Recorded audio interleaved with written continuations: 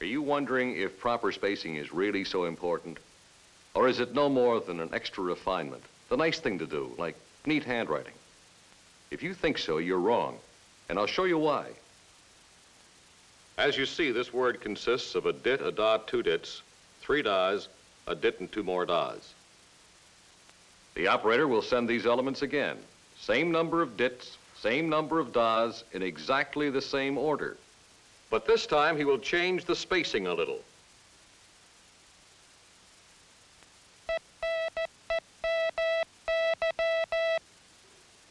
Dit for dit and dah for dah, they match. Only the spacing makes the difference between one word and the other. Those planes being described, are they merely flying low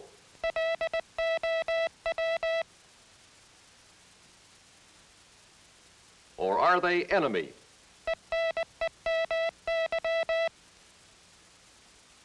I want to re-emphasize this important point about spacing.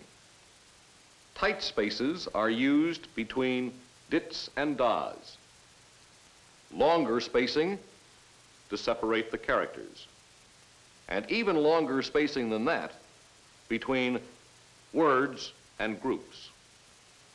Listen for the three different kinds of spacing in this phrase.